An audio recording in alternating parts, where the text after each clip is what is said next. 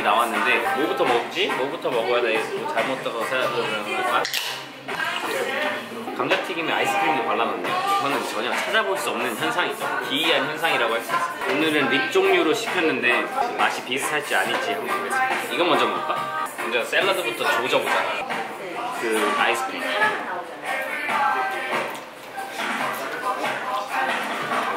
호두마루, 호두. 호두마루를 발라놨어요. 호두마루. 하와이는 전혀 없는 호두마루를 발라놨죠. 꿀로 찍어 먹으라는데 물중 아. 소스는 오리엔탈 드레싱. 오케이, let's. 짜잔. 양고기인가? 냄새가.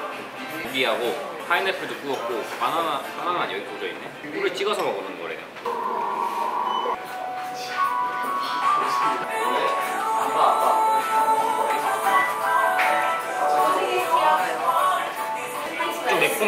또 치킨 같은데 조금 매콤해.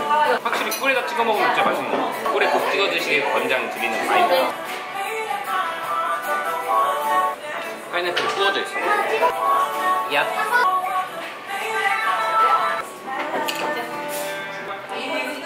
무슨 바나나? 무슨 과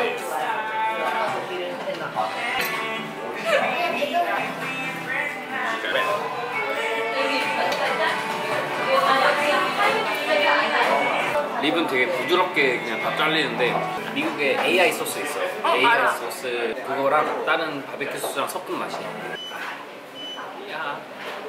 그냥 다 뽀개지는데?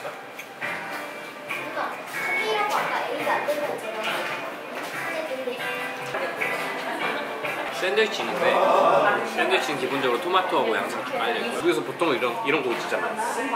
Just like this. 이런 거는 보통 아침에 진짜 많이 먹거든요. 간단한 아침 식사 대용으로 되게 많이 먹어요.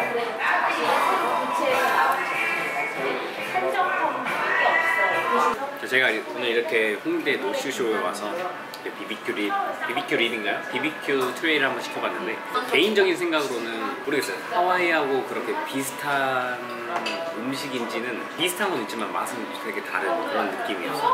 샐러드나 이런 것도 하와 샌드위치 같은 거 경우는 뭐 하와이에서 많이 먹긴 하지만 고기 종류는 조금 다른 그런 느낌이었어요. 단지 껴주고 싶다 겠다. 2인분 세트로 해서 38,000원에 BBQ 트레이 메뉴를 시켰는데 너무 많이 남았어요. 한 절반, 한 3분의 1 정도는 남겼어요. 그럼 이만!